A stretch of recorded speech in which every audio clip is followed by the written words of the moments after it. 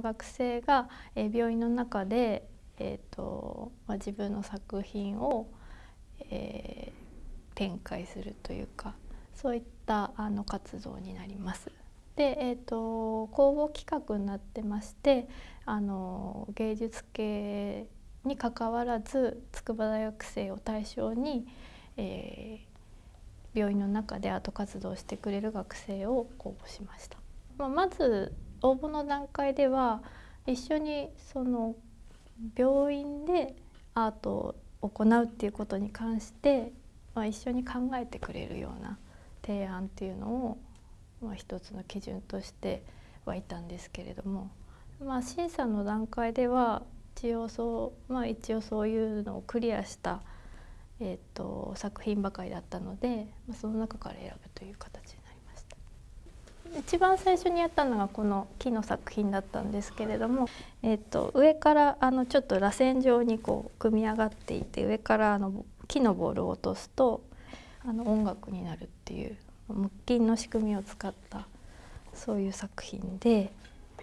来た患者さんとかお見舞いに来たご家族の方とか自由に上からこう落として。結構あの待ち時間が長いんですでその外来患者さんがちょっと多いので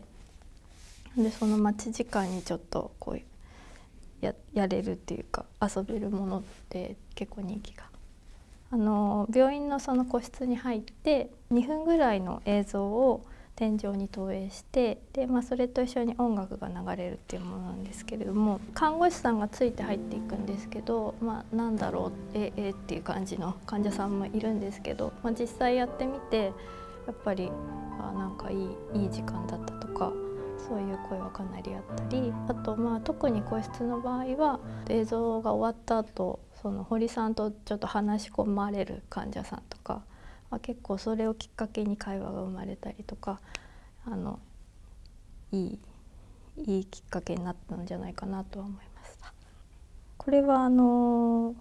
ねぶたのような感じの原理で作られているんですけれどもキリンとウサギと猫の3体色とかそのモチーフがやっぱり優しい病院にやっぱり合っているものを選んで作ってくれたので、まあ、そういった意味でなんだろう、まあ、癒されるとか、まあ、心がちょっと明るくなるとかそういった意見をかなり多くいただきました。